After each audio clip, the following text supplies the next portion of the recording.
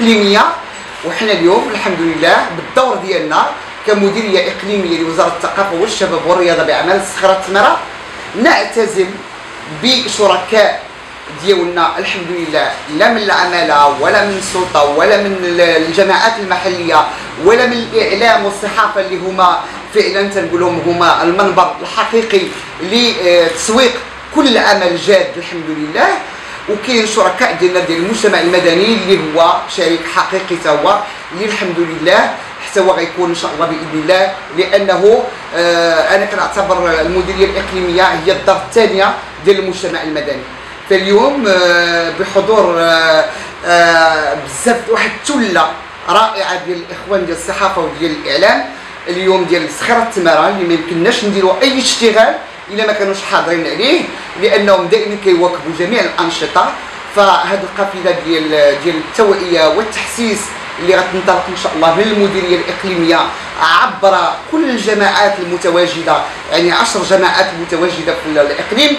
غادي إن شاء الله بإذن الله نوصلوا لها بعد الخطاب الملكي السامي الحمد لله اللي كان فيه واحد الثقة كاملة ديال سيدنا الله ينصرو أنه أعطى الثقة ديالو الكاملة للمواطن المغربي الحقيقي الحر أنه دائما حياته غالية على سيدنا وحياته غالية على الجميع. فكان الشعار ديالنا ديال هذه القافلة هو حياتك غالية عليا.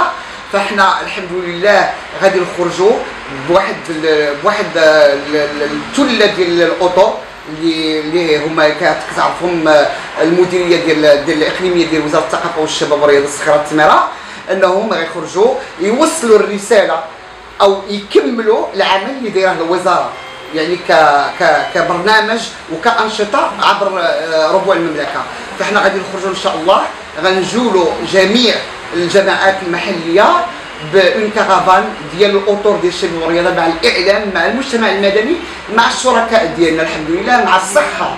لأننا عندنا واحد اللقاء يعني دائما مستمر ثلاث سنة مع وزارة الصحة ومع جميع الشركاء. فأنا أكيد أرحب بكل الإخوان اللي أنا ممتنة وفخورة جدا للتواجد ديالهم لهذا اللقاء المبارك. وأنا أكيد إن شاء الله بأن العمل غيكون عمل طيلة السنة بل كاين مشاريع أخرى الحمد لله اللي غادي تكون في إقليم ديال صخرة التماره هي تتمه للاشتغال ديال أربع سنوات واليوم حنا في هذه الجائحة نتمنى أن يرفعها الله على المغاربة كلهم وحياة المغاربة عزيزة علينا بزاف وغالية علينا بزاف. لذلك أنا كنرحب بالإخوان.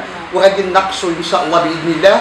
التفاصيل الكاملة ديال القافلة كيف ستمر أو المنهجيات العمل اللي غادي نشتغلوا عليها. وشكرا.